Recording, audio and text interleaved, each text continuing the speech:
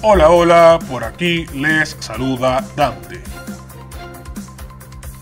Funcionarios de la policía del municipio Chacao aprehendieron este miércoles 4 de agosto a una mujer que intentó ingresar sustancias psicotrópicas a los calabozos de este cuerpo policial.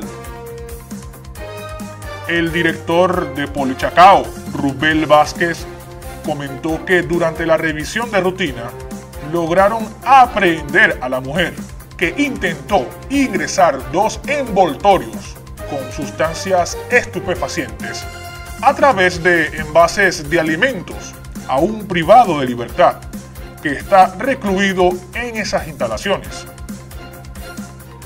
La mujer quedó identificada como Juana María Bravo, de 44 años, quien es madre del recluso.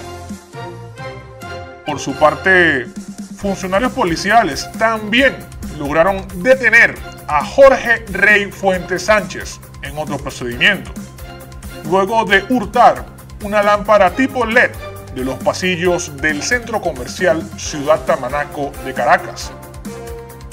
Este delincuente fue identificado por los oficiales de seguridad de este centro comercial y tras detenerlo se percataron que estaba solicitado por cuatro tribunales. Dale like, comenta, comparte, suscríbete y dale la campanita para que no te pierdas más informaciones. Nos vemos.